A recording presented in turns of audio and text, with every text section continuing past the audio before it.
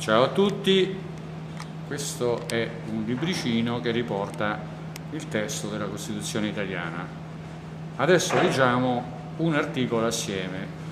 È una sorpresa e uno scoop anche per me, perché l'amico Giuseppe mi ha incastrato e eh, adesso leggiamo. Tutti i cittadini hanno il dovere di essere fedeli alla Repubblica e di osservare la Costituzione e le leggi.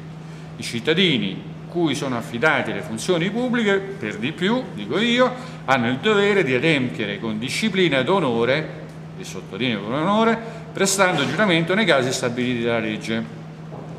Allora, questo articolo ci apre la mente e degli scenari eh, veramente eh, infiniti. Eh, noi tutti i giorni abbiamo a che fare con la pubblica amministrazione e con i funzionari della pubblica amministrazione e soprattutto, anche se non abbiamo contatti diretti con i dirigenti, certamente a capo di queste pubbliche amministrazioni, eh, questi enti e quant'altro, ci sono dei funzionari.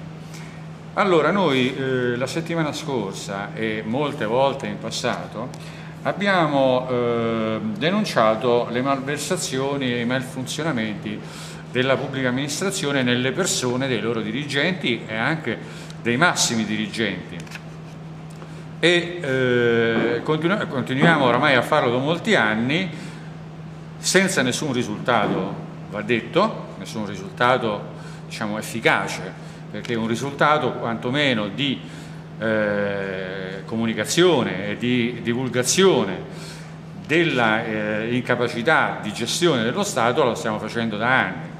E quindi oggi eh, siamo qui eh, in questa occasione a eh, precisare nel dettaglio il dettato appunto della legge, e cioè che un cittadino, chiunque sia, deve rispettare la Costituzione, la, il dettato della Costituzione e le leggi, le normative eh, e i regolamenti, le circolari eh, ministeriali e quant'altro, ma soprattutto sono tenuti a farlo coloro che gestiscono le con, strutture dello Stato. Con onore, lo, puoi rileggere certo, passaggio? Certo, ma questo appunto come Giuseppe sottolinea, è questo il punto principale, c'è una eh, discriminante assoluta, cioè non si può fare un'attività come quello del pubblico amministratore senza non, dover, non, non essere obbligati a farlo con onore, non basta fare le cose come dice il dettato della legge, ma bisogna farlo con disciplina,